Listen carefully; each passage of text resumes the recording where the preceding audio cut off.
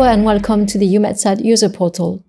Today I'm going to guide you through how to register in our user portal and what you can do as a registered user.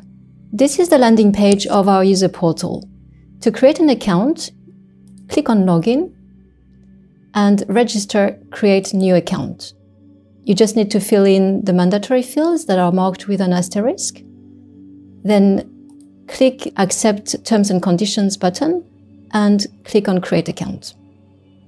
You will then receive an email to confirm your registration. Once this is done, you can log into your newly created account. So now you are in your account and you have different tabs that you can use. Account details, my data licenses, my service subscriptions, and my notification subscriptions. I'm going to go through each of these tabs to show you what they are for. So on the account details tab, you can view your user profile and modify any details as needed. Under My Service Subscriptions tab, you can request one of the three EUMETCast services that we offer, EUMETCast Europe, EUMETCast Africa, or EUMETCast Terrestrial. This is assuming that you already have a EUMETCast reception station or that you are setting one up. So let's request EUMETCast Europe. You have to put in the required number of EUMETCast key unit, EKU. So you can select one. Select your delivery address so if you haven't entered an address under your user profile, this is the time to do it by clicking on Add New Address. Once this is done, you go Submit Request. Once your request has been processed by EUMETSAT, you will be notified and you will then be able to manage your data subscriptions. Now that I have EUMETCast Europe activated for me, I can go Manage Subscriptions to manage the data subscriptions that I want for EUMETCast Europe click on Manage EUMETCast Europe subscriptions. So let's say, for instance, that I want to register for zero degree MTG data, FCI level 1C, 10 minute data. So you see here that the entry is grayed out because I don't have the uh, corresponding license. I have a message here telling me that in order to subscribe to this data, I need to have the license. So let's click on Request License. This takes me to the My Data Licenses tab. A subset of the data provided by EUMETSAT is subject to licensing terms and conditions in accordance with EUMETSAT data policy. We have the Meteosat Level 1 data with a latency of more than one hour and some global METOP data. And we have the Meteosat Level 1 data with a latency of less than one hour.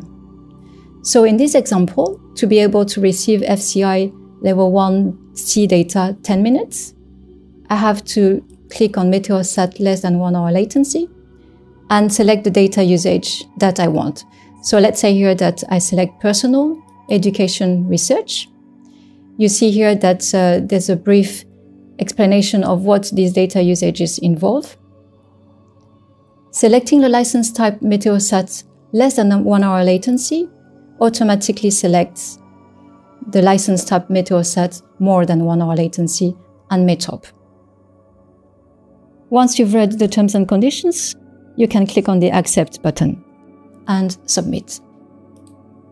So now under My Data Licenses, you see an overview of the licenses that you have just requested. For the Meteosat more than one hour latency and METOP, the license is illimited, so you have no end date. For the Meteosat less than one hour latency, data usage personal, education and research, and also for some other data usages, the uh, license validity is three years. You have the possibility to renew this license close to its expiry date. An acceptance by default of terms and conditions related to the use of Copernicus data and third-party data provided by EUMETSAT allows you to also access this data. And you can view the different terms and conditions by clicking on the View button here. Now back to my service subscriptions.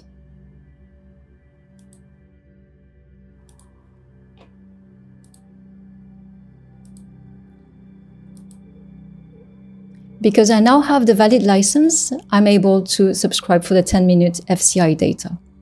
So let's do that. And then at the bottom of the page, just click submit. Your requested subscriptions will be activated for you within the next two working days. Now let's go to the tab My Notification Subscriptions. Here you can subscribe to receive service alert notifications by email.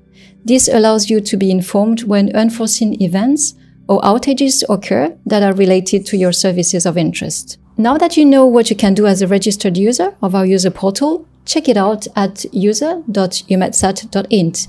If you have any questions, contact our user help desk via email at ops at eumetsat.int.